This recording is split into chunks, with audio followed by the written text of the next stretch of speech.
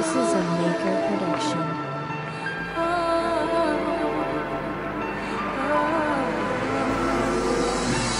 Dođe dan kada, kada ti je teško Jer je bro neko zauzeo tvoje mesto. On je sada pored nje i smara je često Ali šta da se radi, život ide dalje. Nisi verovao i zato te sada boli Kada si je video da ga iza keš moli.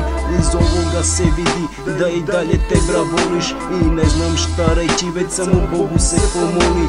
Zato druže, Digni glavu gore i veruj te bra u svoje snove Jer oni će ti reći šta da uradiš Kako i sa čime svoju bol da glaviš Ova pesma ne sme obestati Već nađi dobru devojku koja će da te shvati da te shvati, da te shvati. Pazi sad.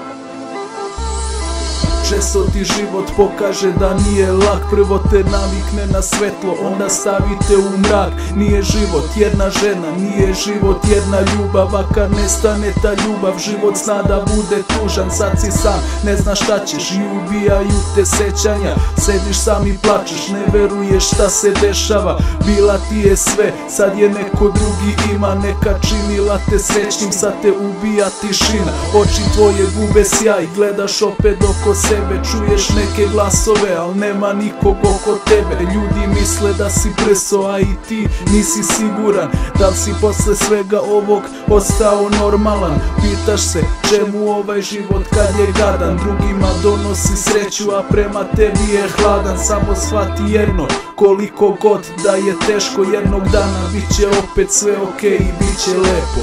Zato druže, digni glavu gore te bra u svoje snove Jer oni će ti reći šta da uradiš Kako i sa čime. Svoju bol da gladiš Ova pesma ne sme ovdje stati. Već nađi dobru devojku koja će da te shvati.